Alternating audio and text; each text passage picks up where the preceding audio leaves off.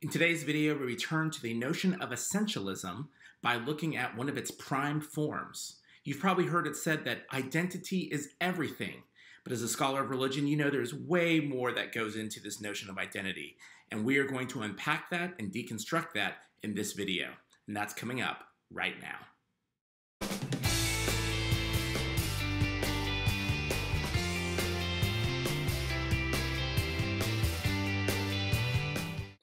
Scholars of religion, we are well aware that human beings essentialize each and every day. By essentialism, we mean the way that people take the complexities of the world around them and distill them into singular elements. When we like essentialism, when essentialism works in our favor, we often describe the world in terms of its roots, its nature, its singular qualities, its core. When we talk about essentialism in terms of ways that are not favorable to our own position, we often, often talk about caricatures and stereotypes, exaggerations, hyperboles. But as scholars of religion, Etic outsiders making sense and observing the way that people make meaning in the world, we know that these are six of one, half a dozen of the other. They're two sides of the same coin. That essentialism abbreviates complexities rather than illustrating or elaborating on them. As scholars of religion, that's precisely what we're trying to do. We are trying to elaborate on the complexities of the universe and the people within it. So when we approach people who are essentializing, when we observe them referring to rhetoric or words to make worlds that are going to distill things into singular elements, we've got to unpack that. We've got to deconstruct that. We've got to ask about the function that's going on in those processes. Craig Martin gives us a four part model to do precisely that. As scholars of religion, we know that people use words to make worlds, and that these words often simplify or essentialize the things that they are constructing. Martin says that these classifications that make the world go round often are hiding the differences that we intend to make that work for our benefit and sometimes work against others. In other words, Martin wants us to look at the projected, hidden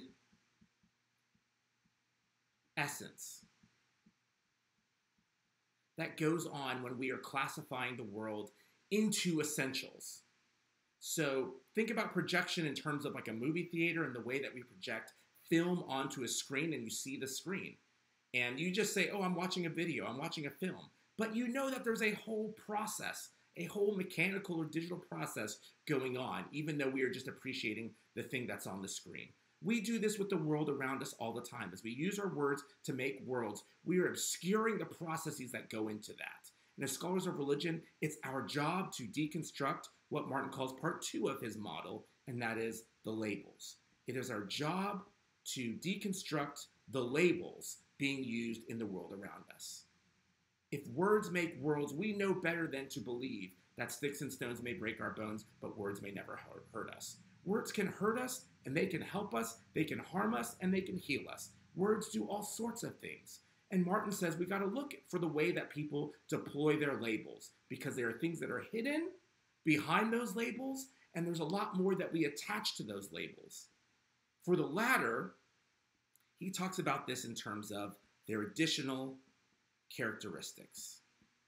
That we use labels all the time, but there are often other things that go with these labels. We add on other characteristics. And when we understand the full weight of the descriptions that we use to identify other people and other things and make sense of the world, we begin to understand their social role. There we go their social role. So, the four things that Martin wants us to look for when we are deconstructing essences are the projected hidden essence, the label, the additional characteristics that go with that, and their social role. Now, I'm going to use an example. Um, it's going to probably catch you as strange. Um, I'm going to leave an example from the history of religions to Martin. He's going to talk about the Bhagavad Gita from Hinduism and the way that um, ancient, this ancient Hindu text identifies different people into specific castes or classes. I'm going to use an example outside of the history of religion that uses the same dynamics so that we can hone in on the way that essentialism really is uh, an abbreviation for a larger process. I'm going to talk about milk. Now, we think we know what milk is, right? But I'm going to say there's way more to milk than we often think. There's more than meets the eye when it comes to milk. I'm going to show you how. So I'm going to use milk as the projected hidden essence. Um, so think about milk in your mind, right? You're in the grocery store, you're walking down the aisle, you're moving down the aisle, and you get to the milk section. Some stores are going to call it, right, the dairy section. Now you may see where I'm going with this, right? Um, dairy, right? Dairy products, you're going to see the gallons of milk. I bet that's what you had in your mind. And when you think about all that goes into the stuff in the dairy section and goes into milk, right? What do you think of?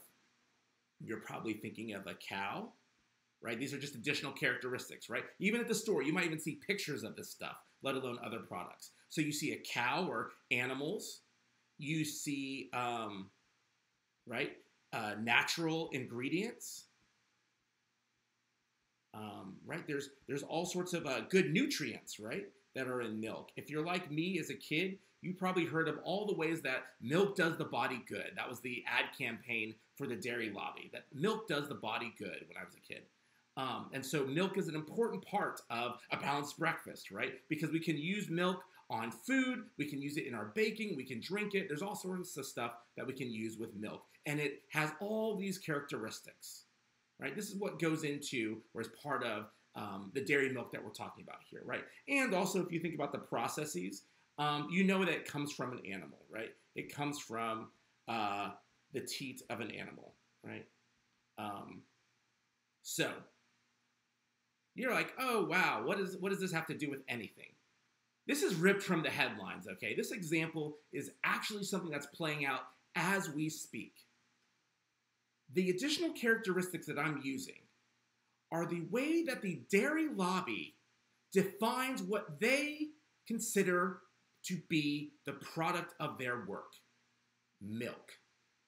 Now you may think, well, of course, because that's what milk is. That's the essence of milk.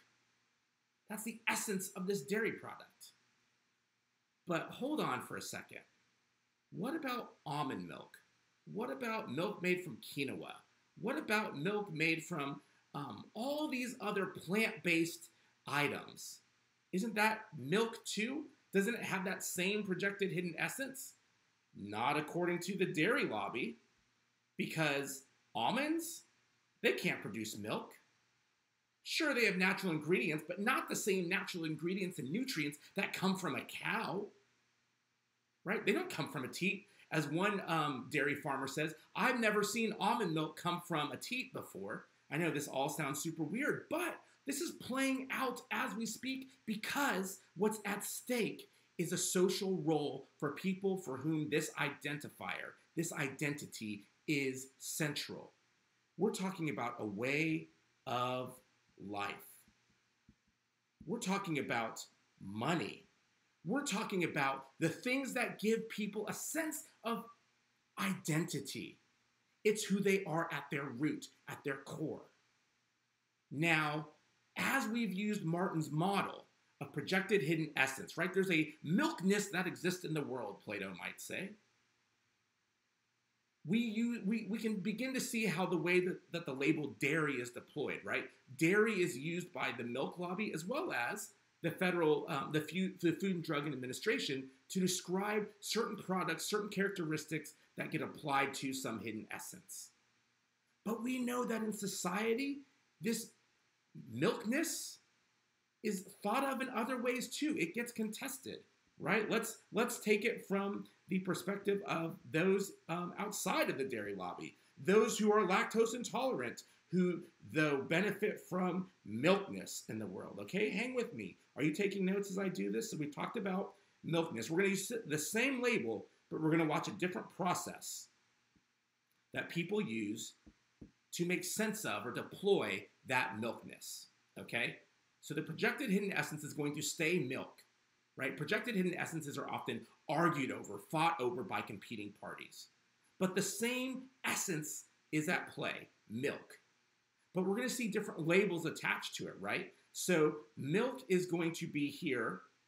Um, let's let's call this uh, as some of these groups say, um, plant based alternatives to dairy. They say that this is what people substitute for dairy in order to take part in or have milk, right?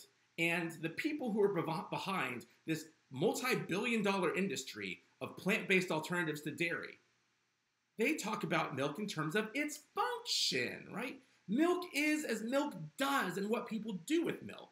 So, what do you do with milk? You pour it on cereal, right? Pour on cereal. You drink it. You bake with it.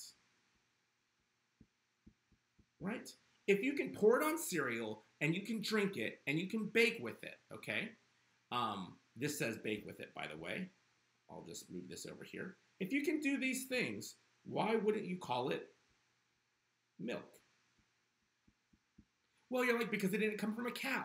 But the people for whom plant based alternatives to dairy is a big deal would say that it has these characteristics that allow for it to still function as milk. Oops. It functions as milk. It does what people do with milk. It allows you to participate in all the same day to day rituals that we do. You can cook your favorite recipes, you can have your favorite breakfast, you can have your favorite drink with these plant based alternatives to dairy. And it makes sense for it to be called milk because whenever someone needs milk, you can substitute it and it gets the job done. Now, of course, the dairy lobby is like, wait, wait, wait, wait, wait, wait, wait. That's not true. But guess what? In some stores today, plant based alternatives to dairy and milk are in the same section. And there are even stores where there are more plant based alternatives to dairy than they are actually dairy milks. So, what is milk? Craig Martin would say, you've got to deconstruct it to find out not just what goes inside the milk, but how milk functions in the world, the worlds in which we inhabit. This goes on, this process uh, can be applied to any place where we observe people essentializing. And the world as we know it is full of people essentializing because it's expedient, it's efficient, it helps us make sense of the world. But at what cost? At whose expense? That's the question that the scholar of religion is always been asking. So, yes, essentialism is extremely common in our day to day lives. But as scholars of religion, we have to hold ourselves to the standard of making sense of the people who are doing the essentializing. That's what it means to occupy that Etic outsider perspective and doing the work of redescription. So when we deconstruct essentialism, we can learn how it operates in the world around us. Now, one of the key sites where we can watch this happen is when people talk about identity. As I began this video, I said something like, identity is everything. We make a whole bunch of these terms that we use to identify one another and to name and label and claim ourselves, our own personalities, who we are and where we come from and what we do and what we're capable of. Identity so often is everything. But as Martin has shown us, there's so much more that goes into what makes us and what makes others around us. A French philosopher by the name of Jean Francois Bayart has talked about identity in terms of not a singular quality, but rather a, cl- a form of classification that abbreviates all of the politics where they're in. So, just like Martin deconstructs essentialism, he says when it comes to that essential that's known as identity, we need to think of it in terms of operational acts of identification. Jean Francois Bayart says when we approach the essential that is identity, we need to deconstruct it and think about it in terms of operational acts of identification. Using that four part model that Martin uses to make sense of how people are using classification to make sense of themselves and others in the world around them, which they have constructed with their words. Identity is not a thing. Identity is a process. And as scholars of religion, our job is to take a look at those processes.